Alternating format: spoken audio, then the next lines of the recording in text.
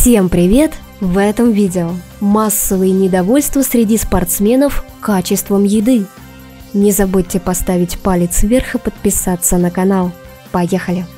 Олимпиада 2022 официально стартовала. В копилке сборной России уже есть одна медаль. Серебро завоевала Наталья Непряева. Между прочим, это первая награда России в скиатлоне с 2006 года. Поздравляем Наталью с отличным стартом. Немного о насущном. Массовые недовольства среди лыжников и биатлонистов качеством питания. Ранее свои претензии открыто высказала биатлонистка Валерия Васнецова, которая сейчас находится на карантине.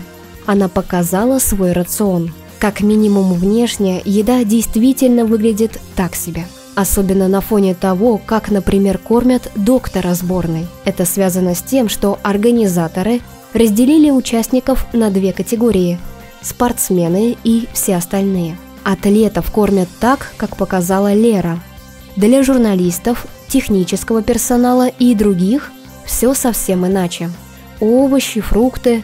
Картина гораздо пригляднее. Васнецова пожаловалась на сильное похудение и постоянные стрессы.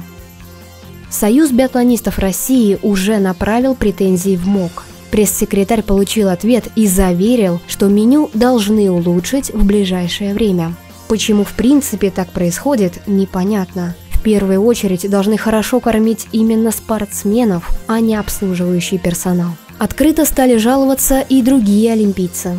Лыжница Юлия Ступак заявила, что в большинстве своем еда очень скудная. Она хочет пюрешку, оливьешку, борщ, сырнички. А сноубордист Владислав Хадарин пожаловался на нехватку ингредиентов для самых распространенных блюд, в частности салата «Цезарь» и добавил, что ему после тяжелых тренировок хочется съесть что-то действительно вкусное. А ведь ранее были очень громкие заявления от организаторов, что меню для олимпийцев разрабатывалось 4 года. В итоговый набор блюд вошли 678 наименований.